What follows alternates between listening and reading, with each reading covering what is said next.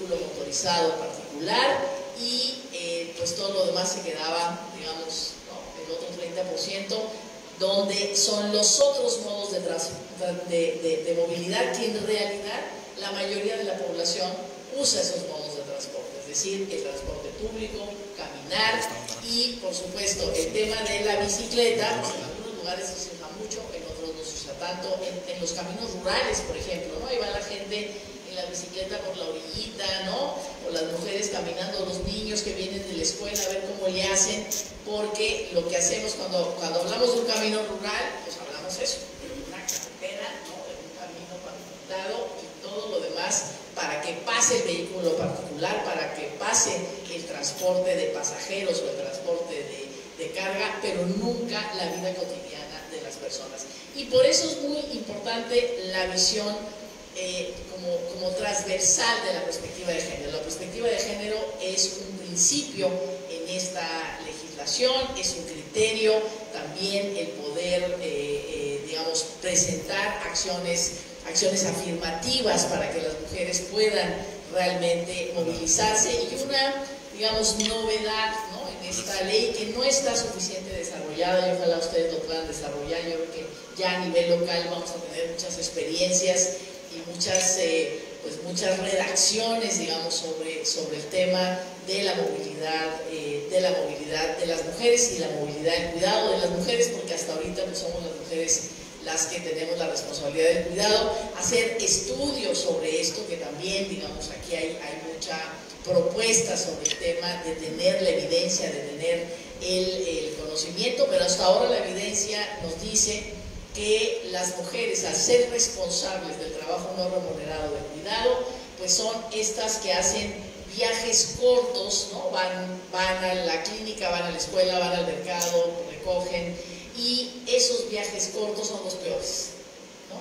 Es el transporte, es el peor transporte, es el más inseguro en, todos los eh, sentidos, incluso ¿no? de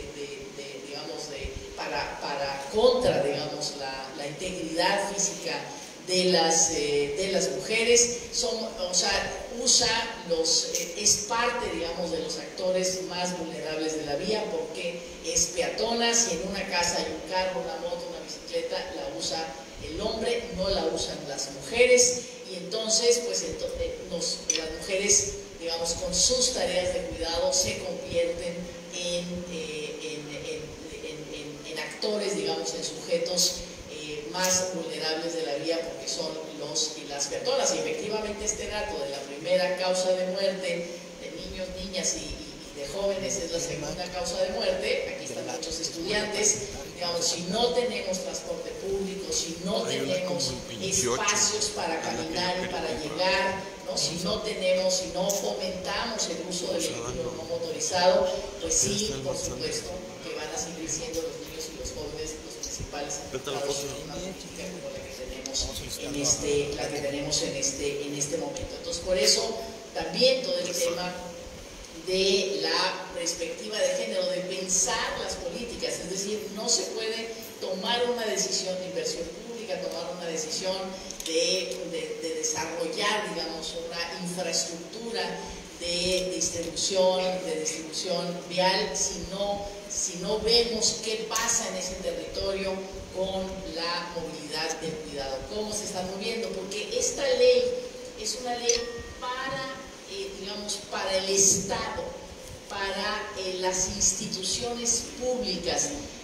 Claro que el ciudadano ya cuando el Estado haga su ley, sus, eh, traduzca esa ley en sus reglas de tránsito y tal, y sus reglas en general de movilidad, pues, obviamente que los ciudadanos tenemos que cumplir con eso que dice la legislación, pero en realidad lo que es es, nos da un marco de acción a los eh, tomadores, a los tomadores de, a los tomadores de decisión, porque somos muy dados a culpar a la víctima.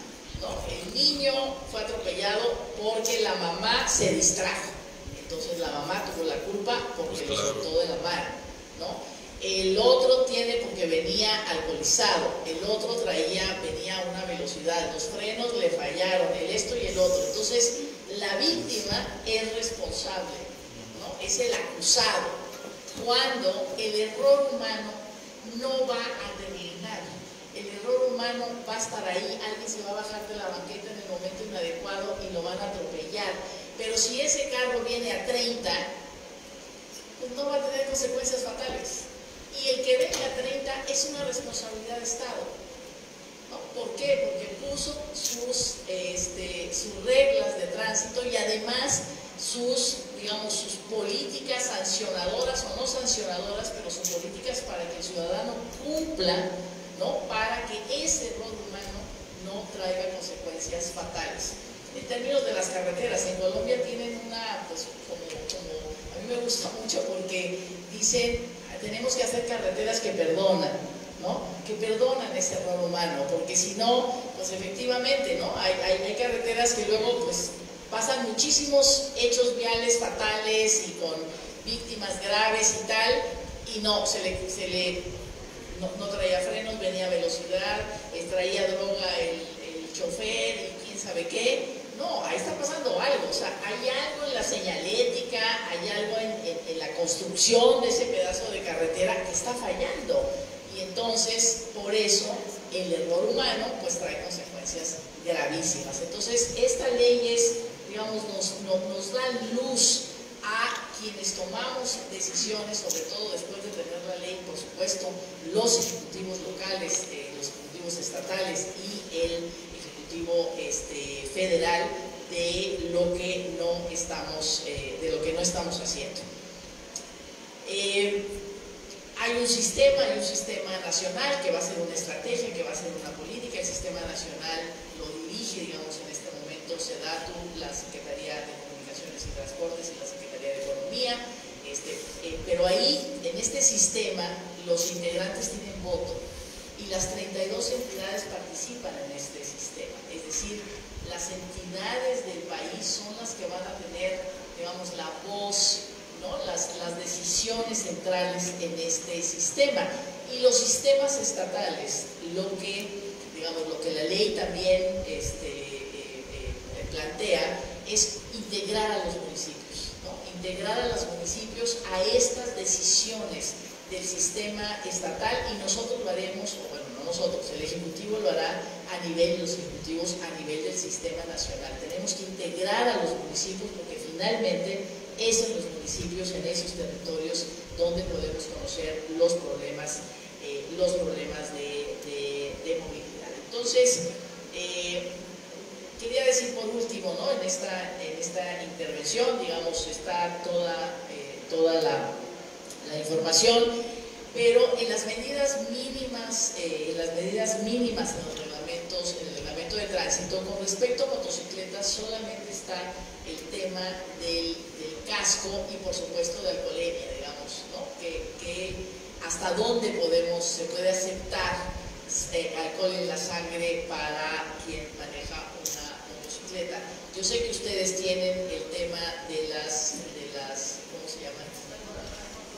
El mototaxi, ¿no? El, mototaxi, que bueno, tendrán que regularlo aquí, ¿no? En su reglamento de tránsito, lo prohíben, lo regulan, ¿qué hacen con esta, con esta situación? Hay, otros estados de la República, en la Ciudad de México también están los eh, mototaxis, y bueno, pues es ahí una, es un, es un vehículo inseguro, o sea, sí es un vehículo peligroso, pero bueno, pues a lo mejor es una necesidad en ciertas eh, áreas y habrá que regularlo, ¿no?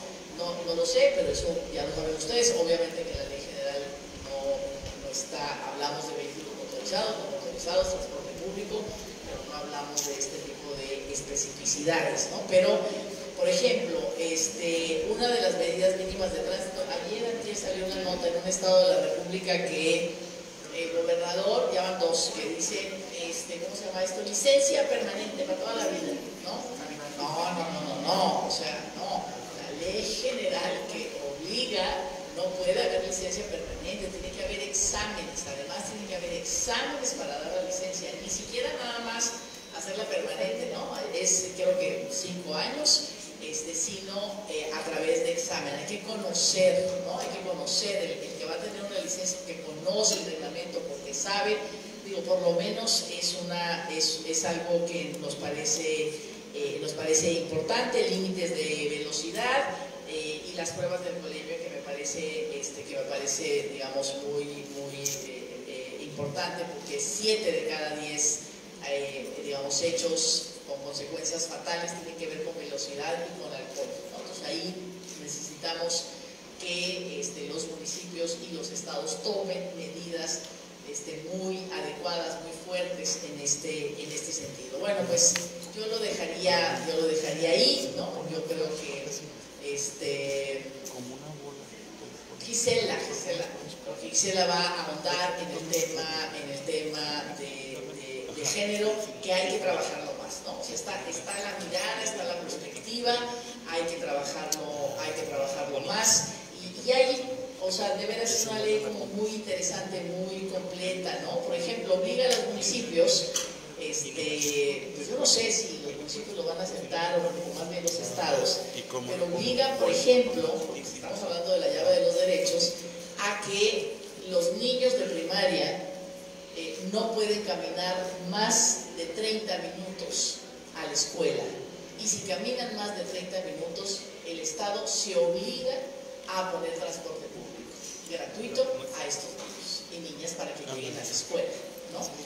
Y para secundaria y preparatoria, creo que son, no pueden caminar más de uno kilómetro y medio, por aquí está la, la situación, y, este, y si no, también se les tiene que poner transporte público. El transporte público se vuelve central en esta ley general, se vuelve central, o sea, la inversión en transporte público, en modelos veía, la, veía los datos, ¿no? de, los datos de, de Colima, la gran mayoría de la población vive en zonas ¿no? entonces brincan de un lugar a otro, necesitamos modelos, este, eh, eh, sistemas de transporte integrados para no te bajas de uno, subes al otro, la calidad de uno es una, la calidad del otro es otra, sino este tipo de coordinación metropolitana para en este tipo de sistemas de transporte. El transporte público se vuelve absolutamente central y ahí también las acciones afirmativas para que las mujeres se trasladen de manera segura, pues es, eh, también, digamos, está,